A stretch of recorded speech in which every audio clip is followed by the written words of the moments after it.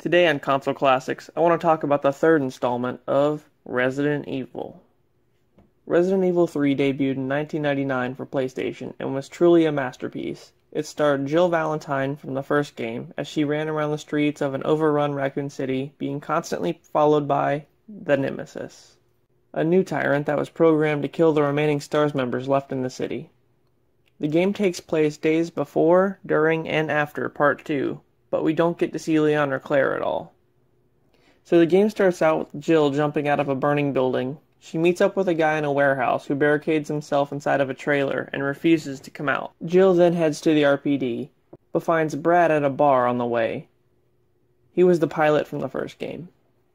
He tells her that there's a monster in the city looking for them and after that they are confronted by the monster, Nemesis, in the courtyard of the police station, with Nemesis killing Brad. A quick note, in RE2, since technically that happens after this, if you don't pick up any items on the way to the RPD in the beginning of the game, down the stairwell, you'll find a zombie Brad, who if you kill, drops a special key that unlocks this cabinet in this room, which is in this hallway. Just for extra costumes and stuff. So, now you know. Okay, so now, here's your first choice prompt that appears. Throughout the game, especially when confronted by Nemesis, a choice will pop up and you can pick what you want to do. These choices will slightly alter the storyline of the game as you go. If you decide to fight Nemesis each time, when you down him, he'll drop a part of a special gun that is pretty powerful when it's assembled.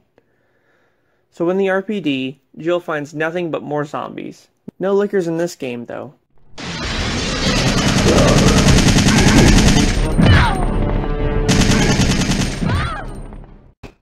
She then heads to a restaurant where she meets Carlos and is yet again confronted by this asshole. He just really doesn't take no for an answer, I guess. Carlos tells her that he's part of the UBCS, a team set up by Umbrella to aid survivors in the city. Yeah, I'm pretty sure that's a ploy of some sort. They have a base set up in City Hall in a train car, but they need to collect the components to get it up and moving again so they can head to the clock tower to be extracted. You spend time wandering around collecting all these items to solve puzzles to obtain more items. Jill meets Nicholai, the leader of their UBCS unit. He's kind of a douche and he's a bit shady. After you fight Nemesis again a couple times and collect the necessary pieces of the train, you head to the clock tower. But there may be a stowaway on your journey. Yup, Nemesis boards the train and tries to kill you, but Mikhail, another member of the team, jumps in front of you and blows Nemesis to hell. So there, he's dead. Alright, well that was a short game. Cool. So because of the explosion, the train derails and crashes at the clock tower. Well, at least you made it there. And help has finally arrived.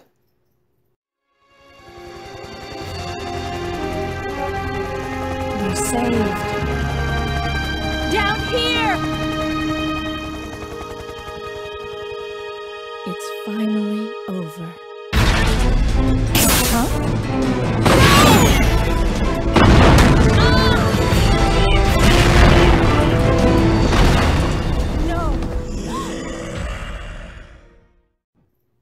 Oh, wait a minute, I spoke too soon. So after the fuckery, you fight Nemesis again and get infected, which puts you out for days. This is where Resident Evil 2 takes place. And so now you play as Carlos, and your objective is to go to the hospital and create a vaccine for Jill. After plowing through a shit ton of hunters, you bring the vaccine back to her, and she's good to go. And now you have to find another way out. And of course, here he is again. I swear, it's getting old now, bro. Just stop. So you make your way through the park and find Nicholai doing some shady shit in a cabin. You find out that he's another antagonist of the game, and that the city's about to be wiped off the map with a nuke. You try to chase him, but are cut off by a giant worm. So after the graveyard, you're visited by your old pal Nemesis, who has upgraded to a bare chest with more tentacles hanging out. Get past him to enter the Dead Factory. In the factory, you're confronted by Nicholai again, this time having a shootout and him running away. He locks the door behind him, and that appears to be the only way forward, so you'll need a keycard to get through. But where is it? You proceed through a door that leads to what looks like a trash room, and you'll never guess who's waiting in there.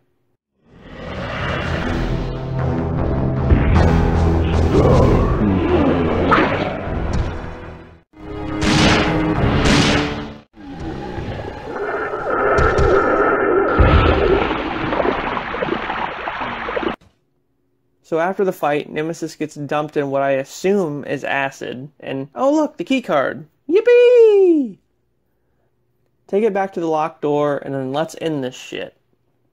So just when you think it's over, Nicholai shows back up and tries to gun you down in a helicopter, because plot. You can choose to let him live, but nah, fuck him. Proceed down the ladder to freedom. Down here, you'll encounter a building guarded by a dead Mr. X, and then it's filled with more dead tyrants. What the hell happened in here? Right when you get your bearings, though, Nemesis is back. This time, he's a mutated blob with spines and tumors.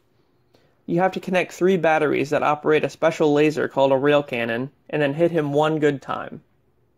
After he's dead, empty a magnum into his corpse for good measure, and then head out. You're greeted by Carlos and get on a helicopter flown by. Wait a minute, is that Barry? You leave the city just as the nuke arrives, and then. the end. So, this was a decent game. I mean, Nemesis was literally at every corner of the city waiting for you. It really heightened the suspense. I hope the new one's the same way.